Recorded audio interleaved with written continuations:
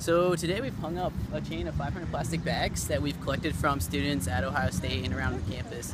So kind of the number we chose 500 is because the average American uses 500 plastic bags a year, which is pretty insane. So it's kind of easy to just hear a number and not really understand what that means.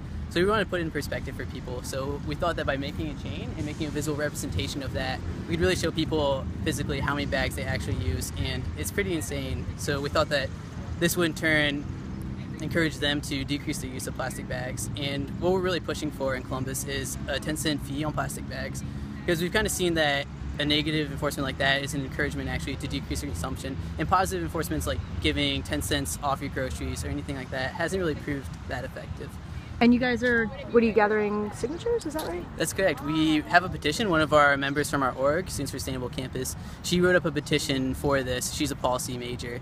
So she wrote up this petition, and we're collecting these the past couple months, and we're getting as many as we can. Currently, we're close to 600 and we're going to be sending this to Mayor Coleman and hopefully setting up a meeting with him or at least the sustainability coordinators and talking about this and just having a representation of this is the students of Ohio State are for this and the residents of Columbus are for this and just kind of push this forward since it's already a topic on this plate. Anything else you want to say? Um, down with the bags.